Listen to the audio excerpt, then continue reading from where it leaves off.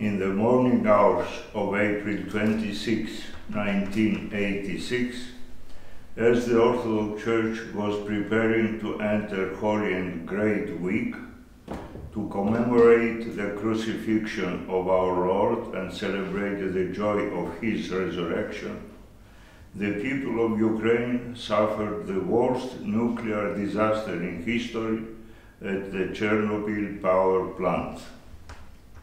Today, exactly 35 years later, as Orthodox Christians once again have entered the week of the Holy Passion of our Savior, the echoes of those explosions, the repercussions of which were felt far and wide in the then Soviet Union, still ring in our minds and our hearts.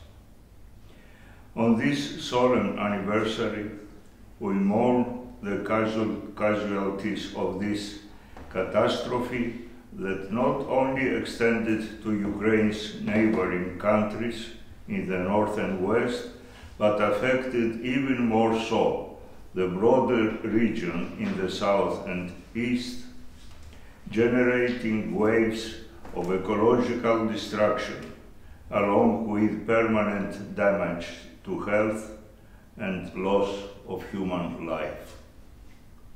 During the decades of 1950s and 60s, the use of nuclear power for peaceful purposes was a promising hope for humanity. Many believed that this was the decisive solution to the energy needs on a global scale. This optimism prevented even the specialist scientists from predicting and evaluating the possible hazards that were connected with the safety operation system of the nuclear power plants and with the management of radioactive waste.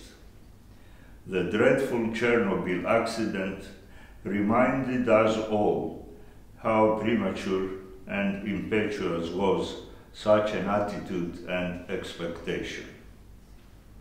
With this painful background of our experience and knowledge today, how can our suffering and sorrow bring redemption and transformation to us as conscientious citizens more than a generation later? How can a wasteland of devastation not prove a wasted opportunity to honor the victims, both human and ecological? First, we must always remember.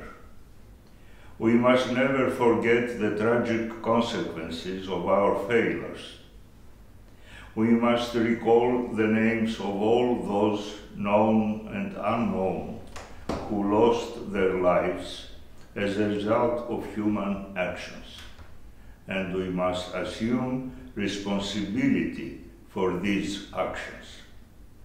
Memory is a powerful attribute in religion and particularly in Christianity because it can become a cathartic force for reconciling the past, transforming the present, and shaping the future. That is the power of repentance. Second, we must learn to say no to technologies with harmful effects on God's sacred and sensitive gift of creation. As we pray in Psalm 23, the earth and everything in it belongs to God. We have to obey to the ecological imperative, to respect and protect the natural environment, and to disregard the contemporary technological imperative, which commands us to accomplish whatever is technologically attainable without taking into consideration its broader consequences for our life and our natural oikos, our home.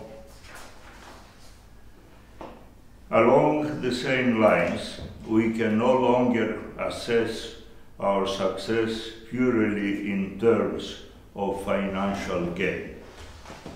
An economic system that aims only to the maximization of profit actually threatens social cohesion and solidarity.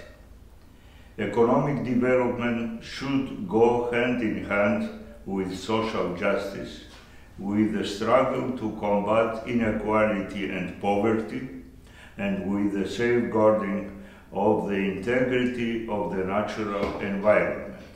This is the model of repentance. And finally, we must learn to say yes to another ethos, an alternative system of values, a different way of life, one, of, uh, one that affirms the beauty and dignity of all people and all things. Our choices and actions affect every detail of our planet and impact the future of the generations to come. Perhaps the greatest lesson that we can take from Chernobyl is that we share the world with all people and every living creature. Our world is one, united and unique. One, united and unique. Pollution knows no borders we all are called to learn the importance of restraint and respect, the hope for a cleaner and safer world, for clean and safe energy, which is indeed today available and viable. This is the way of repentance, power, model, and way of repentance. As the Mother Church of our beloved people in Ukraine, we wholeheartedly pray that the memory of Chernobyl will not be in vain. Instead, let it be eternal and transformative. Blessed, holy, and great week. May God's grace be with you all.